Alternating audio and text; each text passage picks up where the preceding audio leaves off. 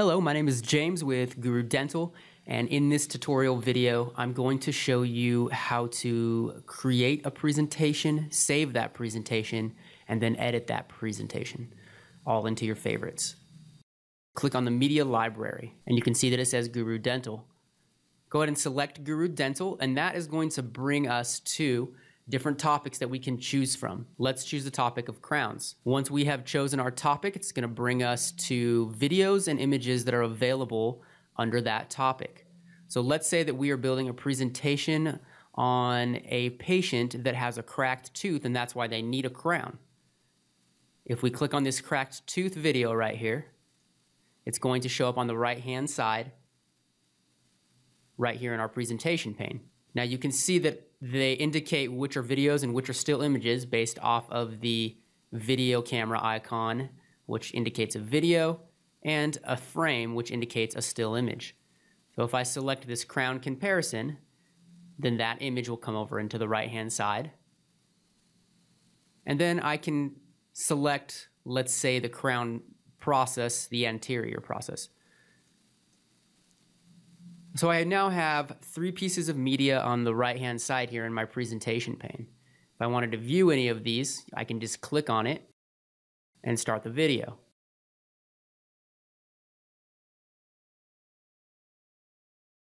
To save this presentation, we want to select this disk icon that's in the right-hand corner. Once you select that disk icon, it's going to open up this window. We can give our presentation a name. And hit save. That presentation is now saved to our favorites. You can see it right here. And if I click on it, it's going to bring it up into the presentation pane and I can go over it with the patient. Now let's say you wanted to make some changes to this presentation. For example, if we wanted to change the order of the media, we can drag the images and videos around and place them in an order in which we think is best. You can do that by holding down the left button on your mouse and moving them around. We can also add a video if we would like. Let's say that we want to use the crown process posterior so we can have the posterior and the anterior. You can also edit a presentation by removing anything you don't want you decide you don't want this crown comparison image, you can click on the X that shows up in the right hand corner. That will remove that video from this presentation.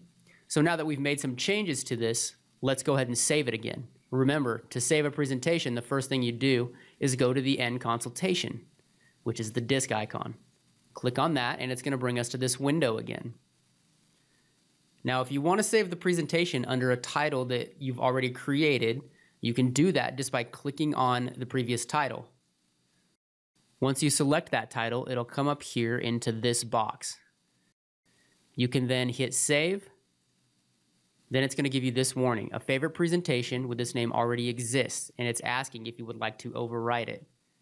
If you click on overwrite, that presentation has now been saved under that same title. So now if we click on the crown, because of a crack, you can see that we have our cracked tooth video and then two videos of the process of a crown, the anterior and the posterior process. And that is how you create, save, and edit a presentation in the Guru Teach software. I hope this tutorial video has been helpful. Thanks for watching.